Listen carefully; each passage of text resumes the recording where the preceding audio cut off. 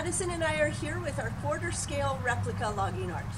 This one was made for us by the Remington Carriage Museum of Cardston, Alberta.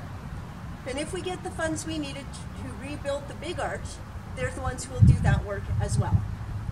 Now we got this one made so that we've got something that visitors can actually play with, see if they can load it up and figure out how these things actually worked. We'll show you. You see we've got a chain laid out here ready to go. I'll just take my peavey and attempt to roll this log into place. Okay.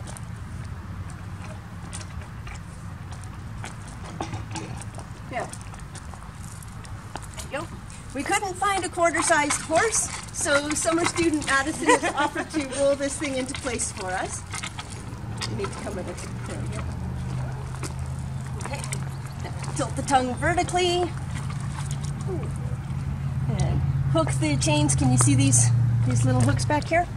One there, one there. We just hook the chains onto it. And then Madison will turn the tongue flat. You can see the log starting to come off the ground. And now we can slide the front chain underneath. Oops.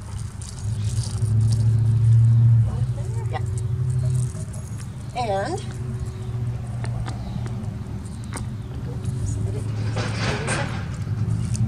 Oops.